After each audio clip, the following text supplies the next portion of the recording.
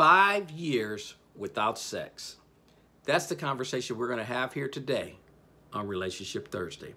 How you guys doing? This is Ron Simplified Myers, author of the book, The Relationship Success Handbook. Get rid of your problems, not your partner. Now, this particular topic came into being. A young lady talked about the fact that her husband, who's around 50, uh, is not open to having sex, and they haven't had sex in more than five years, and she needs the sex, and she's told him, almost pleaded with him, probably has pleaded with him, uh, and it's just not working. They've even gone and gotten pills, and but he refuses to take them. So the question is kind of, is that grounds for divorce? And I'm a firm believer, and you guys have heard me say, I believe in working relationships. You can work through all obstacles if you have two people that are willing to work together to make it happen. But when you have one person who digs their feet in and is determined that I'm not willing to budge, because I believe mental or physical abuse are grounds for divorce. Holding sex from a person by choice, even if you have, even if it's an ego issue, like because you're a man and you don't want to feel weak by taking pills or you don't want to go to counseling because men don't go to counseling. Those are still choices. And if you're not willing to bend and say, you know what? I can't let the world who tries to tell you what a man looks like make my decisions for me. I have to make the decision that's best for my relationship. That's why I said you got to have two people that are willing to work together. In order for that to happen, you also have to have a safe place, and I've talked about this before, inside of the relationship where the person feels that I can be very open. And in this case, if he does have those issues, he can tell you, I have this male thing. And as men, we don't do this. And so it's making it tough for me. But at the same time, and this is one of the challenges I try to share with, with ladies all the time, is quit telling your your man that I want a man, I want you to be open. I want you to be vulnerable. I want you to share everything with me because we're in this together. And then the moment that he becomes vulnerable and shares his innermost feelings, and maybe that brings him to tears, and all of a sudden you go, whoo, man. And now you're judging him. And now you start to look at him as weak. He's no longer the guy that you thought he was. You can't have it both ways. You can't tell the guy to be vulnerable and act like a human being. And then when he does it, you turn on him. At the same time, if you tell a guy to play that, that, that male role model, you know, that he's strong and nothing gets to him, you guys will never, and this is one of those times I use the word never, and it's very rare that I do, you will never have the ultimate relationship. The reason I say that is because every human being has issues, has things inside them, um, has doubts. And if I have to play a role with you, because I got to play this male, because you notice I'm saying playing the male role that the world has told us what a man is, then there are conversations I'm not going to have with you as my partner.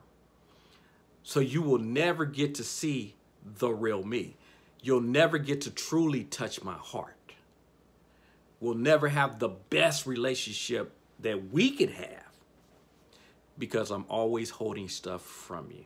I want you guys to think about that. If you're partnered, because they don't feel safe. We've talked about this before. You got to have a safe place in your relationship. I got to know I can come if we're in this together. Um, I'd even share like in, in, my relationship with my wife, we I had um, I think maybe twice I actually cried, and it's not because um, I tried to play a macho role, and that's the only reason it happened twice, or that I was worried about how she responded because of the fact that I did do it a couple of times. I'm a true believer. I'm going to be who I am. But the reason that I don't cry a lot, and I don't think most people do, and that's the reason this is all crazy to me because we act like people walk around and just cry for no reason at all. Now, there are some people, but those are rare. But most people, when they cry, is because they're truly affected by something. And if you want to get to the heart of your partner, he's got to know that he's able to drop his guards and be a human being. And he's got to know that you're not going to hold that against him in public or in private, but definitely in public where you start to talk behind his back to others like, yeah, he was up there crying. Ooh, scared me because I ain't used to that. I thought I had a strong man and, you know, he out here. You just messed up what's called that safe place. You just destroyed it. Because now he's thinking, here's the place I can go to get comfort and you turned on him and went outside or inside and that's why i said also privately because if privately you start to act towards him differently and some ladies i've seen do that where the guy um, became vulnerable and she started disrespecting him all of a sudden. She would raise her voice at him. She just because in that vulnerable spot she looked at him as being weak and her respect for him disappeared. Yeah the relationships ended up breaking up but that's why, because she hollered about wanting a safe place and being a, a, a man that was going to be open and vulnerable, but she wasn't able to handle it. And that's not saying it's easy because we're in a world that teaches men that you're not supposed to be vulnerable. And then women thinking that with their man that he's not that, but you're asking for it. So be prepared. But anyway, in this particular um, instance, I believe any mental or physical abuse, it's time to move on. Especially if you have a partner that's not willing to address those. And in this case, if she goes to him and somebody had recommended to her to tell him that if you're not willing to do it, then I need you to give me permission to go outside and do it because she doesn't want to just go cheat and and and um, be unfaithful. So the person was saying, so let him know this is not what I want to do. But if you're not willing to do that, then um, I need to be able to step outside. Now I'm not saying that's good, bad, right, or wrong. Um, th this is choices on how how strong you believe in your sex and all that. But in terms of people saying, well, it's a human thing and you can't survive without it, that's garbage. Um, it's just up to you as an individual if you choose to. And the reason I say that, and, and, a lot of people don't like to hear me say that, but there's again a difference between a need and a want. A need is something you can't survive without. Guess what? Sex, whether you like to hear it or not, if you don't have it, you will live. Trust me. I'm a perfect example of that. I tell people, I said, um, probably the last five to seven years of my marriage, I think uh, my wife and I had sex once and that might even be an exaggeration. And a lot of people, when they hear me say that, first they're shocked that I'm willing to share that. But then they're like, how did you do it, man? You didn't ever think of stepping outside? And Well, those of you that don't know my story, um, my wife fought cancer for 17 years, and I lost her actually six years ago to that cancer. So when people hear that, they go, oh, okay, well, see, your situation was different, so I understand, you know, why you didn't have sex and why you didn't step outside. No, you understand why I didn't have sex. If you're a person that's willing to cheat and step outside your marriage, you don't understand the fact that I didn't step outside because you would have stepped outside. Because here's what I get people to understand. That situation, if I did step outside, my partner would probably even understand and forgive me for doing it because she understood she couldn't do it. Does that make sense? So if I didn't do it knowing I could probably get away with it because of that, it's because it's not in me. That's not who I am. I always tell people this always, especially when it comes to cheating, that is a character issue. That's your integrity. Um, this is not a male-female conversation. Um, whether you're attracted to other people, that will happen till the day you're you can't see again. You'll always be attracted physically to people. You'll also be attracted to people mentally. Crossing the line, that's a whole different ballgame. That is a choice. And when you do that, it is a choice. So I don't buy any of the excuses people come up with. It's choice. Now, even in this young lady's case, some people go, well, that's a that's a good reason right there, Ron. Maybe a good reason for her to, to, to get divorced. Not a good reason for her to cheat. Because the reason I say the divorce part is, again, any mental or physical abuse, I personally believe it's time to move on. If you're a person that feels you have to have sex, then mentally, you guys follow me? Mentally, this is disturbing. You're, you're getting stressed, you're getting frustrated mentally. And then that mental stuff will break you down physically. That's why I said mental or physical abuse, because you get to make that decision. No one else can make that decision for you. If you're mentally or physically abused, my personal perspective, it's time to move on. So I had a friend and we were having a conversation today, and she told me that she has a, a friend that they were having the same conversation because he, again, the husband is the one that doesn't want to have sex. And she was trying to, she was saying, I, I don't get it. I don't understand what's going on. And she said, well, she told her friend, the reason is because of the way you talk to him, the way you treat him. I've watched you. And she said, you talk to him like he's a child. And almost like you're his mom. And she said, what man is going to want to sleep with his mom? And the girl came back to her, you know, probably within that same week and told her, did you talk to my husband about anything? She's like, no, I haven't talked to him. She said, he told me the exact same thing. I had the conversation with him and he told me, why would I go, why would I want to go to bed with my mother?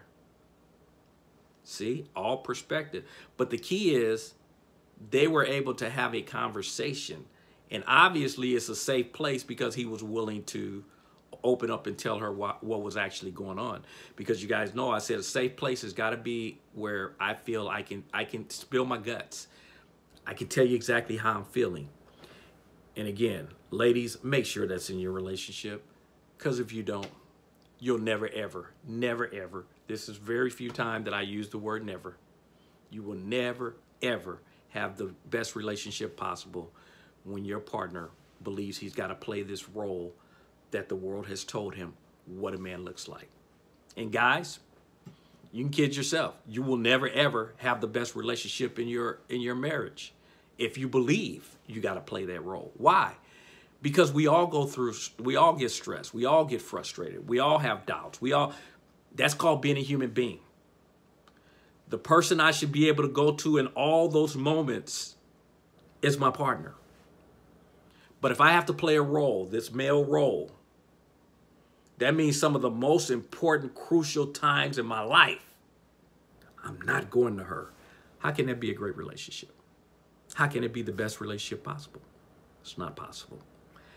So don't tell your man to be vulnerable and then switch on him the moment he does and call him weak or start. And I've seen it happen where the guy cried or whatever and she lost all respect for him. And um, from that moment on, scream at him, holler at him. She lost total respect. Yeah, the relationship ended up breaking up, which would be understandable because it's back to, like I said before, mental, physical abuse. If you don't honor me, you don't respect me, you're not willing to make the adjustments, why would I stay? Now, I know for a lot of people, they, they you know, it's like marriage, once you get married, you stick it out to each his own. I personally am not going to do it for mental or physical abuse, even though I'm a person that totally believes in marriage and working through things, which you can work through everything if you have two partners that want to work together.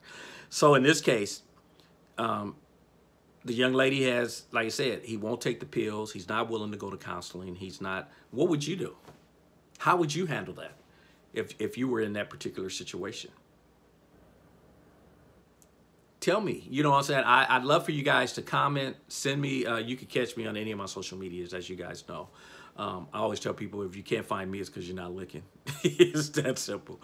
Uh, you just type in my name, and and and and there's all kind of different places, different ways to catch up with me. But these are the kind of comments, conversations I want to have. I'm actually gonna um, go live on my uh, podcast and stuff here soon. I'm, I'm uh, going doing all the research now to figure out how to do this because I actually want to talk with you guys and have serious dialogue because We're all in this together. No one has all the answers. I share with you my perspectives, my views on things, but I don't have all the answers, and I don't try to play that game like, oh yes, I'm I'm an expert because I love when I hear people, oh yes, I'm I'm I'm I'm, I'm a relationship expert, and most of them are single. Majority of the speakers out here talking on relationships are single.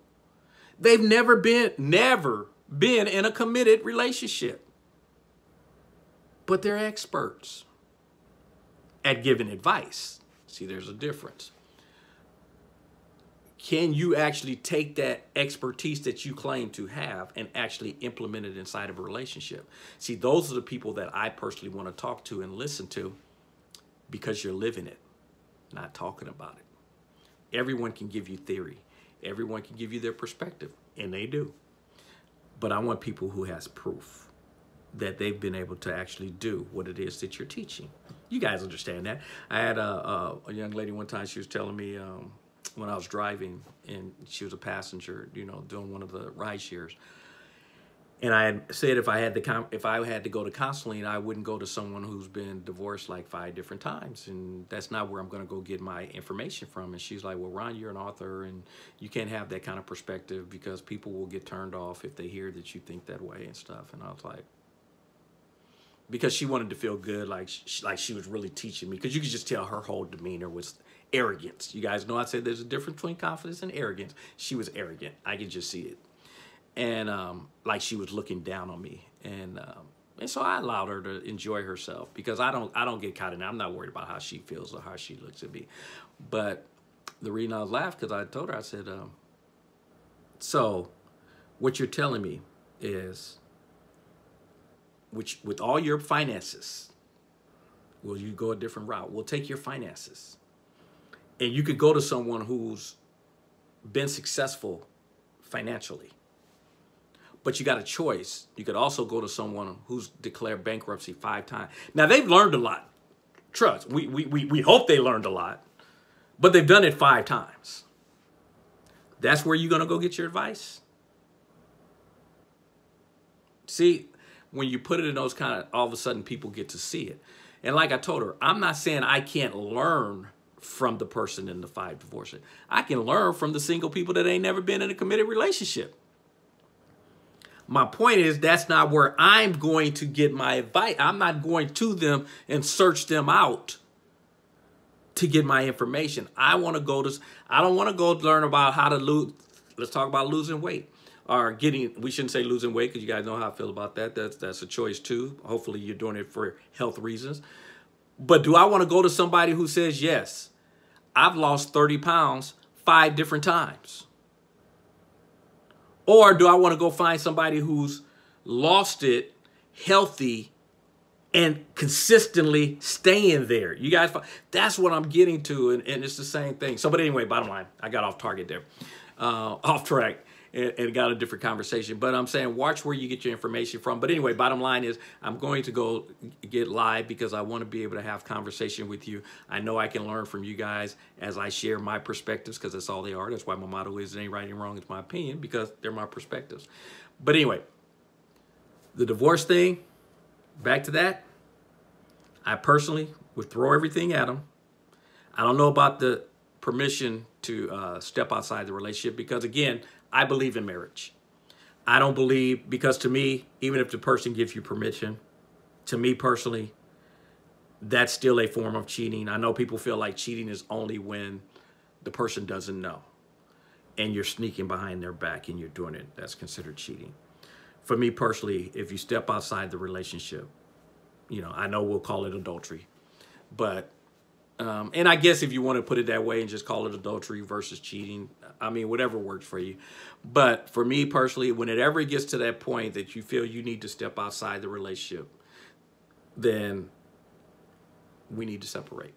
We need to go our own ways. And in my particular case, I'm pretty sure, you know, that that might be one of those where people go, well, that's an exception.